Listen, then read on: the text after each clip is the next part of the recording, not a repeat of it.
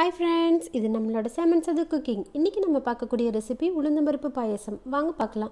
தேவையான பொருட்கள் உளுந்தம்பருப்பு ஒரு கப் ரெண்டு ஸ்பூன் அரிசி கொஞ்சமாக நெய் பாதாம் முந்திரி திராட்சை ஏலக்காய் நாலு ஒரு கப் கரும்பு சக்கரை அரை லிட்டர் பால். இப்போது ஒரு மணி நேரம் உளுந்தம்பருப்பையும் அரிசியையும் ஊற வச்சு எடுத்துக்கோங்க. மிக்சியில் போட்டு நல்லா அரைச்சி எடுத்துக்கலாங்க. பால் அரை லிட்டரு கூட நம்ம எடுத்து அரைச்சி வச்சுருக்கக்கூடிய பிறப்பையும் அரிசியையும் நல்லா மிக்ஸ் பண்ணி எடுத்துக்கலாங்க.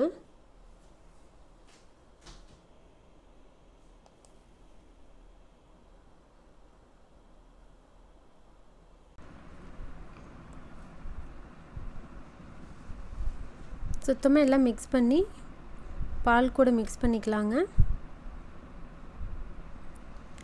இப்போது அடுப்பில் ஒரு கடாய் வச்சு கொஞ்சமாக நெய் விட்டுக்கலாங்க. நெய் சூடானதும் நம்ம எடுத்து வச்சுருக்கிற பாதாம் முந்திரி திராட்சையை நல்லா பொன்னிறமாக வறுத்து எடுத்துக்கலாங்க. பெண் குழந்தைங்க வீட்டில் இருக்காங்க அப்படின்னா கட்டாயம் இந்த பாயசம் வந்து அடிக்கடி செஞ்சு கொடுங்க. உளுந்தம்பருப்பு வந்து ரொம்ப ரொம்ப நல்லது.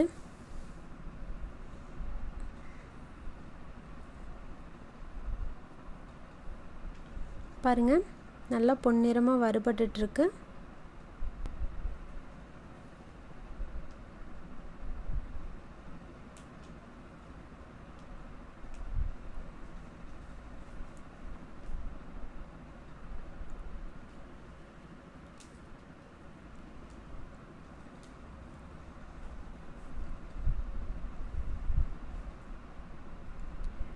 இப்போ ஒரு பவுலுக்கு மாற்றிக்கலாங்க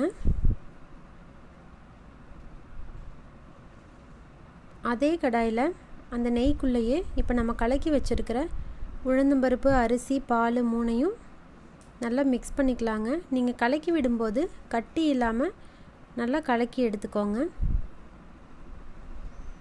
இப்போ இது வந்து கொஞ்ச நேரம் நல்லா பாயில் ஆகணுங்க. நல்லா பபுள் பபுளாக வரணும். அந்த அளவுக்கு நல்லா பாயில் ஆகணும்.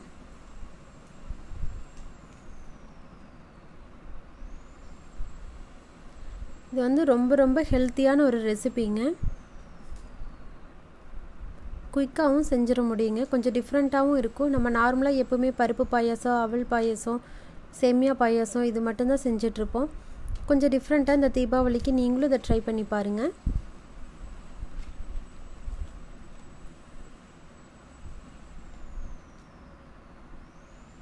பாருங்கள் இப்போ லைட்டாக பபிள்ஸ் வரக்க ஆரம்பிச்சிருச்சு. நல்லா மிக்ஸ் பண்ணிகிட்டே இருக்கலாங்க கட்டி ஆகாமல் இப்போது நம்ம எடுத்து வச்சுருக்கிற கரும்பு சர்க்கரையை ஆட் பண்ணி நல்லா மிக்ஸ் பண்ணிக்கலாங்க. நாங்கள் வந்து கரும்பு சர்க்கரை யூஸ் பண்ணுறனால நான் கரும்பு சர்க்கரை யூஸ் பண்ணியிருக்கேங்க. நீங்கள் வந்து அஸ்கா யூஸ் பண்ணுவீங்க அப்படின்னா நீங்கள் அஸ்காவும் யூஸ் பண்ணிக்கலாம். வெள்ளமும் கூட இது கூட நீங்கள் சேர்த்துக்கலாங்க. அது உங்களோட இஷ்டம் தாங்க. நல்லா கட்டி இல்லாமல் கரும்பு சர்க்கரை கரையிற வரைக்கும் நல்லா மிக்ஸ் பண்ணிக்கலாங்க. இப்போது நம்ம எடுத்து தட்டி வச்சுருக்கிற ஏலக்காயும் மிக்ஸ் பண்ணிக்கலாங்க. நீங்கள் ஏலக்காய் தூள் பண்ணியும் யூஸ் பண்ணிக்கலாங்க. நான் தட்டி வச்சுருக்கேன். அப்படியே எடுத்து யூஸ் பண்ணிட்டேன். பாருங்கள் இப்போ ஓரளவுக்கு கெட்டியாக வந்துருச்சு. உங்களுக்கு இதை விட தண்ணி மாதிரி வேணும் அப்படின்னா நீங்கள் இன்னும் கூட ஒரு கால் லிட்டர் பால் வந்து நீங்கள் ஆட் பண்ணிக்கலாம்.